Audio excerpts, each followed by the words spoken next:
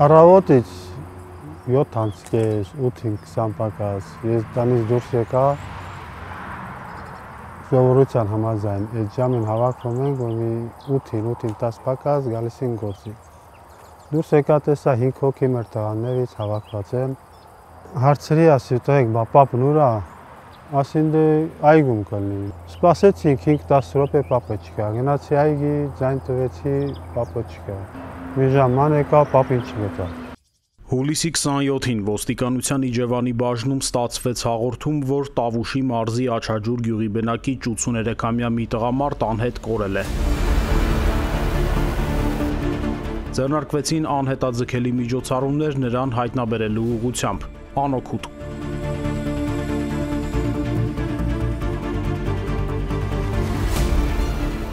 հաջորդ օրը Տավուշի մարզային քիչական վարչությունում նախաձեռնվել է քրեական վարույթ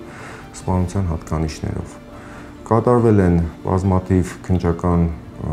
եւ վարութային գործողություններ, որոնց ընթացքում ընթացքում տվյալներ են ձեռք բերվել այն մասին, որ դեպքի օրը առավոտյան ժամը 7-ի սահմաններում դուժողի տան դիմացի փողոցում նկատվել է Opel Astra G մակնիշի արծաթագույն ավտոմեքենա եւ նույն ժամերին դուժողի տան ուղությունից հարևանության բնակվող անձինք լսել են տարօրինակ ձայներ, սակայն ուշադրություն չեն դարձել մտածելով, որ հնարավոր է դուժողի այգիներում աշխատող բանվորներն են եկել, որպեսզի միասին գնան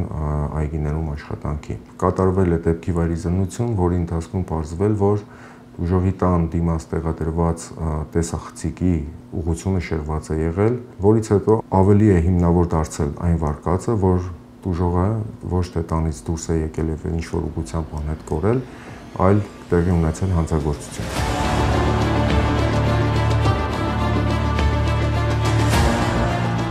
Անձի անհետացման հանգամանքները ողջելու գործին լծվեցին նաև քրեական ոստիկանության գլխավոր վարչության ծառայողները եւ դեպքից երկու օր անց ստացան տեղեկություն, որ այդ օրը հուլիսի 27-ի առավոտյան 83-ամյա տղամարդուն իր տան մոտից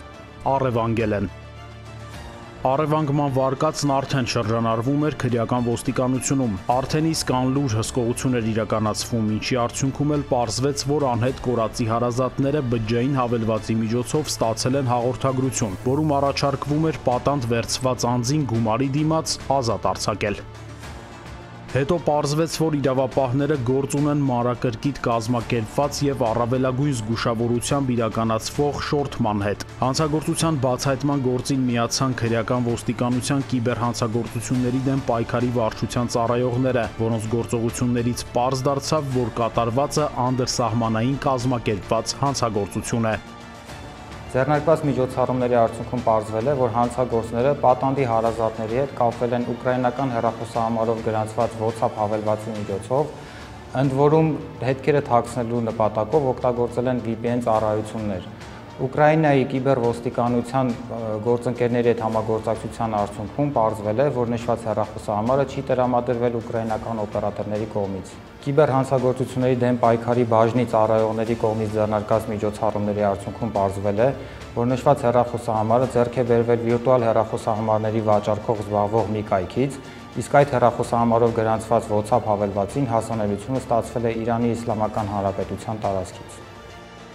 Վերջին տեղեկությունը ենթադրում էր ակտիվ միջազգային համագործակցություն։ Հաշվի առնելով հարցի կարևորությունը գործին միջամտեց նաև Հայաստանի ոստիկանության ղեկավարությունը։ Առանց բացելու որոշ փակագծեր, ասենք, որ բացահայտման ճանապարհին մեր ոստիկանները ակտիվ եւ արդյունավետ համագործակցեցին ոչ միայն Ուկրաինայի համապատասխան կառույցների, այլև Ամերիկայի Միացյալ Նահանգների արդարադատության դեպարտամենտի համակարգչային հանցագործությունների եւ մտավոր սեփականության սեկտորի եւ Իրանի Իսլամական Հանրապետության ոստիկանության հանրության հետ։ Ուսումնասիրելով եւ վերլուծելով արդեն իսկ ձեռք բերված տեղեկությունները, որոշում կայացվեց համագործակցությունը կազմակերպել ամենաբարձր մակարդակով։ Հայաստանում Իրանի Իսլամական Հանրապետության դեսպանը հրավիրվեց ոստիկանություն, ու նաեւ նրա ջանքերի շնորհիվ այս հանցագործության բացահայտման հարցում միջազգային համագործակցությունն ամենաբարձր մակարդակի էր բոլոր առումներով։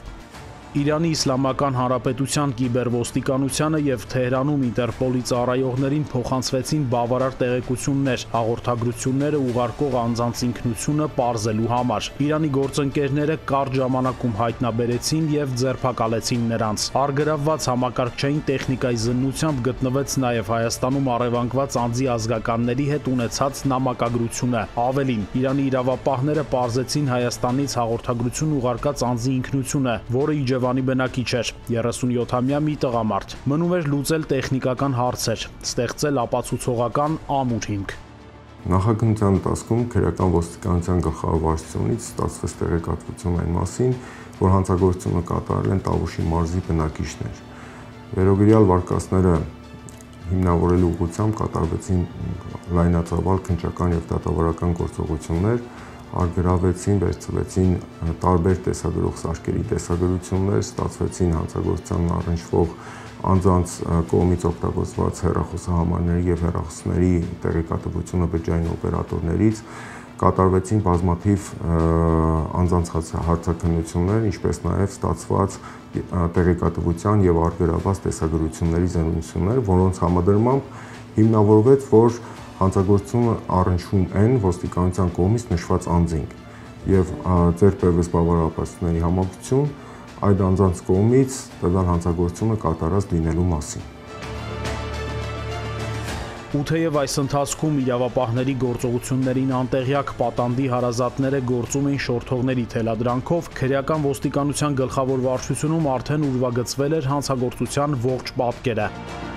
Շորթման կազմակերպիչներից երկուսն իջևանցի են 37-ամյա եւ 25-ամյա տղամարդիկ։ Ներգրավված էին նաեւ այլ անձինք, որոնց վերաբերյալ տեղեկություն տրամադրելն առայժմ նպատակահարմար չէ։ Հետքերը թաքցնելու նպատակով շորթողներն ամեն մի նոր քայլ ձեռնարկելիս փոխել էին ավտոմեքենաները։ Հուլիսի 27-ի առավոտյան 83-ամյա տղամարդուն առևանգել եւ աչքերը կապած տեղափոխել էին արծաթաբայլ Opel Magnish-ի մեքենայով, դաշտամիջյան ճանապարհներով։ Այս ընթացքում պատանդին նստեցրել էին 37-ամյա տղամարդու աներոջ անունով հաշվառված Toyota Prado-ն, որով էլ հասցրել էին Լոռու մարզի Ծաթեր գյուղ, որտեղ պատանդին պահելու համար նախորոք վարձակալել էին հյուրատուն։ Արտաքին աշխարից ու կապի միջոցներից զրկված նրան պահել էին հսկողության տակ, նույնիսկ ջուրն ու կերակուրը փոխանցել դիմակավորված։ Պարզվեց նաև, որ նրան ազատ արձակելու դիմաց գումարը պահանջել են կրիպտոարժույթով։ Փրկագինը կրիպտոարժույթով պահանջելը նույնպես ուներ հետքերը թաքցնելու նպատակ, սակայն դա խոչընդոտ չհանդիսացավ կիբերհանցագործությունների դեմ պայքարի բաժնի ծառայողների համար։ Կարճ ժամանակ անց մեզ հաջողվեց ողջել կրիպտոդրամապանակը փաստացի տնօրինող անձի ինքնությունը, որը Իրանի Իսլամական Հանրապետության մեր գործընկերների կողմից ձերբակալված անձանցից մեկն էր։ Ի վերջո հարազատները գումարը փոխանցում են։ Հանցագործները պահանջ են ներկայացրել 3 միլիոն ԱՄՆ դոլար իրենց կողմից նշված կրիպտոարժույթների դրամապանակին փոխանցելու, որպիսի դուժողին ազատ արձակեն։ Սակայն օրերի ընթացքում տեղի ունեցած բանակցությունների արդյունքում պայմանավորվածություն են ձեռք բերել 200.000 ԱՄՆ դոլար, որը պետք է վճարվեր մաս-մաս։ Եվ 20.000 ԱՄՆ դոլարը ստանալուց հետո դուժողին ազատ են արձակել պայմանով, որ մնացած գումարը պետք է վերջինիս հարազատները վճարեն դուժողին ազատ արձակելուց հետո։ Դուժողի հարազատները եւս 20000 ԱՄՆ դոլար փոխանցել են հանցագործների կողմից նշված էլեկտրոնային դրամապանակին Օգոստոսի 2-ին Երևանի Գյուլբենկյան փողոցից շորթողները վերցնում են մտերիմներից մեկի Hyundai Sonata-ն, դրանով ուղևորվում Ծաթեր գյուղ։ Ճանապարհին կարճ կանգառ են ունենում խանութի մոտ։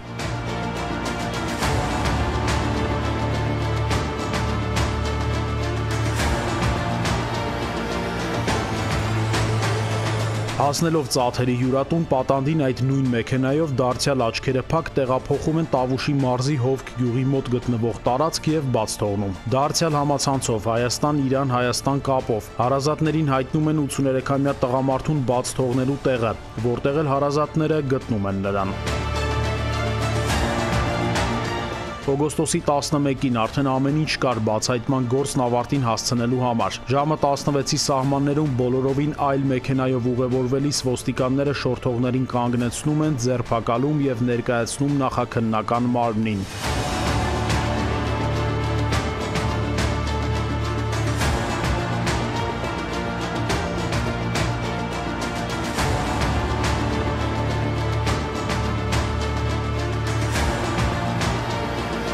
Նախաքննությունը շարունակվում է։ Ձեռնարկվում են օպերատիվ հետախուզական միջոցառումներ եւ քնչական եւ վարույթային գործողություններ, հանցագործության բոլոր հանգամանքները,